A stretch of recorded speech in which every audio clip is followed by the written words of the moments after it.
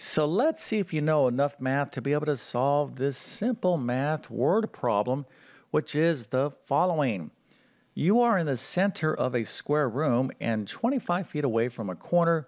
What is the area of this room? Okay, so that is the problem. Feel free to use a calculator. But if you have the answer, go ahead and put that into the comment section. Then, of course, I'm going to solve this problem step by step. But uh, before we get started, let me quickly introduce myself. My name is John, and I have been teaching middle and high school math for decades. And if you need help learning math, check out my math help program at tcmathacademy.com. You can find a link to that in the description below. And if this video helps you out, or if you just enjoy this content, make sure to like and subscribe, as that definitely helps me out. Okay, so the first thing that we want to uh, kind of recognize is that we have a math word problem here.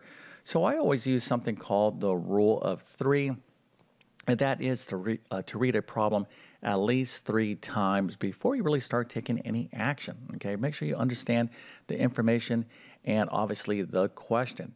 So once again, we're in the center, okay, of a square room and 25 feet away from a corner.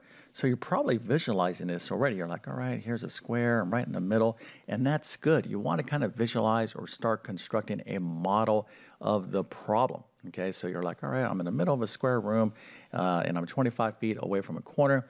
So the question is, what is the area of this room? So obviously, we're going to have to know a thing or two about squares and the area uh, of a square. But uh, the best approach, once you kind of read the problem or really understand uh, the problem, is to model the situation by making a nice, thing you know, kind of diagram uh, so you can see the problem. Okay, because oftentimes if you can see the problem, you can see the solution. Okay, so here is my kind of uh, model of the problem. So here is a square. Okay, now here I have some symbols that are very important uh, to the situation. I'll talk about this in just one second. So here is a square. We're in the center of this uh, square and we're 25 feet away from a corner. Now, if you're right in the middle of a square, okay, so if you kind of just think about this, even common sense, even if you don't know the math, you're right in the middle. Well, we're equal distance uh, uh, the, the distance to any of these corners is going to be the same, right? So 25 feet to this corner, well, it's 25 feet to this corner, et cetera, et cetera, right? So we don't need to uh, kind of list out all the corners because that could be confusing. So I'm 25 feet away, let's say from this corner, doesn't make a difference because I'm 25 feet away from all the corners of the square. But uh, here, we need to recognize or review what a square is. Now, some of you might be saying, come on, Mr. YouTube Math Man, I know what a square is. You know, you don't need to, uh, you know, make me feel that bad because I know what a square is. It's like a perfect little square thing. Well, that's true, okay, but uh, technically it's a four-sided polygon. But let's just review some really important factors or uh, properties of squares. Now, the first thing is that uh, the, the sides of a square or what we call congruent. Okay, they're the same side, the same length, right? So this length is uh, the same as this length, the same as this length is the same as that length. And in geometry, you can put a little line right there to indicate uh, that these sides are all the same. But uh, a real important properties of squares is that the corners, the angles of the corners of the square are 90 degrees, right? We call this a right uh, angle in geometry and it's symbolized by this little tiny square in the corner. Okay, that means that that uh, that angle, excuse me, is 90 degrees. All right, so that's a really important aspect of a square. Now, there's another thing about this uh, square uh, that we need to kind of study here is that we're in the center. Okay, now if we continue on this way, we're 25 feet uh, to the corner from here to here, right? So from the center, uh, to this corner, we're 25 feet. From the center to this corner, we're 25 feet. So this entire length is what we call the diagonal of the square. So we're 25 and 25. The entire um, length of that diagonal, okay, is going to be what? Well, it's going to be 50 feet. So what we want to uh, think about here is that we have a triangle here, and specifically we have what we call a right triangle because this angle right here is 90 degrees. Now, why do we need to think about a triangle? Well, because to find the area of this entire square, we're going to have to know the formula uh, for the area of a square. Okay, so what is the formula for the area of a square? Well, basically it's just the length times the width, but uh, because the length and the width are the same, we're just going to call this the side times the side because the side, uh, the sides are the same, so the area of a square is equal to the side square. Okay, so these are, or this um, formula is one part of solving this problem, but there is another formula to get the answer. Okay, now here we have the diagonal of this uh, triangle, but what we need is the side. Okay, we need the side of the square in order to answer the question, which is the area of the square. Okay, so what do we need to do? Well, we need to kind of really focus in on the fact that we are dealing with a right triangle. Again, a triangle that has one of its angles as uh, 90 degrees is what we call a right triangle, and these are extremely important triangles in geometry. Now, anytime you come across a right triangle, you need to think about this next formula, right? This is critical, and it's really not a formula, it's something called a theorem, and here it is, right? So this is called the Pythagorean theorem, it's a squared plus b squared is equal to c squared, right? This is something you want to put into your long-term memory. You're like, all right, Mr. YouTube Math, I'll put it right in there into my long-term brain housing group. So in mathematics, there is a ton of formulas that you're going to uh, study over, you know, your uh, courses of um, you know, um, as you progress through mathematics. And you're going to get overwhelmed with a lot of formulas, but there's some things, again, that you need to kind of put into your long term memory. Uh, this is one of them, okay, along with the area of a square as well. So a squared plus b squared is equal to c squared, right? Once again, this is called the Pythagorean theorem. And uh, this establishes a relationship between the sides of a right triangle. Okay, so how does this work? Well, it works like this, okay? If we first of all, let me just go and tell you uh, what this is, right? So A, B, and C are the lengths of a right triangle. Now C, okay, is always the longest side of the right triangle. Now it kind of looks hopefully somewhat obvious that this is the longest side, but the longest side will always be opposite of the right angle. And it has a special name, it's called the hypotenuse, okay? So C has to be this right here, the longest side of the right triangle, again, the hypotenuse. So that is what C is going to be. Now A and B are the other sides of the right triangle. So it's got one of the, one of those sides is going to be, you know, shorter or smaller, or in the case of a square, these will be the same sides or the same uh, distance. Okay. All right, so as long as you understand that, we can now talk about the relationship uh, between A, B, and C in a right triangle. So what the Pythagorean theorem states is that if we square this side, okay, and then we add it to the square of this side, it's going to be equal to the square of this side. So let's just take a simple example here. And uh, of course, this looks like a square, but I'm just going to throw in some other numbers. So let's say this was equal to 3 and this was equal to 4. Okay, so if this is 3, 4, well, our um, hypotenuse will be 5.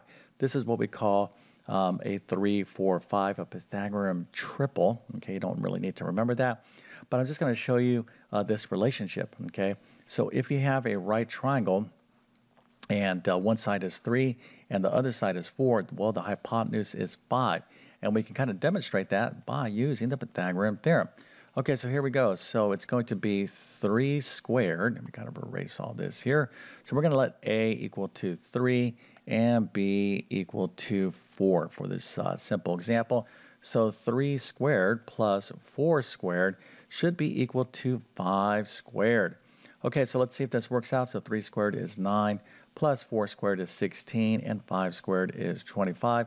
9 plus 16 is 25, so 25 indeed is equal to 25.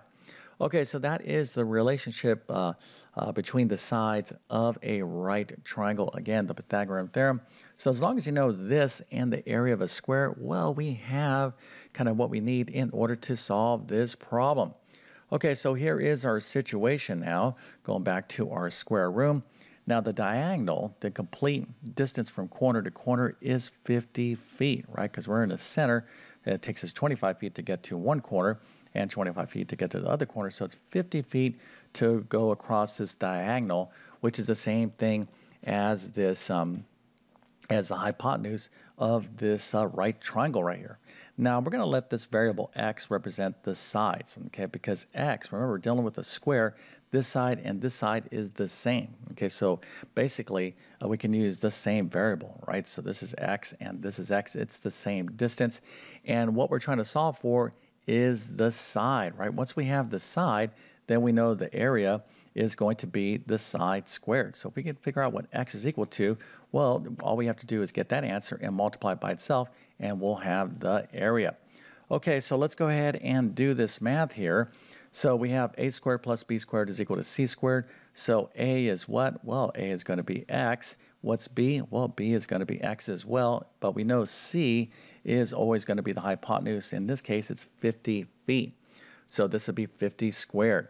All right, so here we go. So it's going to be x squared. All right, so x squared is simply x squared plus x squared is x squared uh, is equal to 50 squared. 50 times 50 is 2500.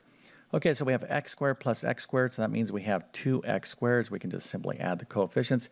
So we have 2x squared is equal to 2500. Now to solve for x, what we need to do is divide both sides of the equation by 2. So 2500 divided by 2 is 1250. So x squared is equal to 1250. Now, uh, a lot of students or a lot of people would be like, all right, I'm getting this right. I'm figuring it out. I just need to solve for x. But hey, hold on here. We already solved the problem. Now, you might be saying, what are you talking about, Mr. YouTube Math Man? Well, remember the area of a square is the side squared. So in this case, if x is the side, x times x is the area. Okay, so the area is actually x squared. And we just solved for x squared, so right here, x squared is uh, 1250, so we will have solved the problem. But uh, to solve for x, well, let's just go ahead and just uh, continue with the algebra here. What we, uh, what we would need to do is to take the square root of both sides because we have a quadratic equation. So that gives us x is equal to positive negative, uh, approximately 35.35 but uh, here we're talking about distance, so x is going to be equal to 35.35. That's the approximate distance of the side, okay? But the exact area is going to be x times x, or x squared, and we have that right here. That's 1250. Now, before we continue on, if you want to get better at math, you definitely can, but the key is to find a teacher that gives you clear and understandable instruction. So hopefully you like my teaching style. And if you do, if you're like, yes, I think I can learn from you, well, then you will love my full main math courses. So uh, you can find the links to all of these courses in the description, but they include basic math, pre-algebra, algebra 1, geometry, algebra 2, pre-calculus, and a ton of specialized test prep math courses. Okay, so again, don't give up if you're having a tough time in math. I can definitely help you out. So you can check out the links to all these courses in the description. So let's get back to the video. So a lot of us uh, students or a lot of people would think, you know, they kind of get a kind of tunnel vision about the problem. They're like, all right, I got to get this side. So they're looking or they're focused in on getting uh, what x is equal to. But if we thought about this, if we're solving for x, of course, x is approximately 35.35, but uh, the area is the question. So x times x uh, is x squared. That is the area. So if we can solve for x squared, well, we have the area, but of course, uh, already kind of covered that. But uh, if we have 35.35 feet, okay, now this is critical too because we are talking about units of measure here, well, then simply we can just find the area by taking 35.35 uh, and squaring it or multiplying it by itself. And when you do that, you're going to get approximately, now notice this symbol, okay, this little squiggly thing right here means approximately in mathematics. It also, um, well, there's other things that it means uh, in geometry. But uh, basically, what you need to kind of understand is that it's not 100% equal to, it's not exact. Okay, so 35.35 times 35.35 is approximately 1,249 uh, square feet okay, because this is feet and this is feet, and we're multiplying feet times feet, so we end up with feet squared, okay? So when we're talking about area, you have to be very, very aware of the units of measure, all right? So if you came up with this answer, that is fantastic. You definitely get an A+, plus. but this, uh, this right here is the exact, precise right answer. Okay, so again, all right, uh, you know, if you didn't remember the math, or maybe you never really learned it uh, the first time. Okay, if you were like me back in uh, high school days, and that for me was the early 1980s, I really wasn't paying attention uh, to math at all.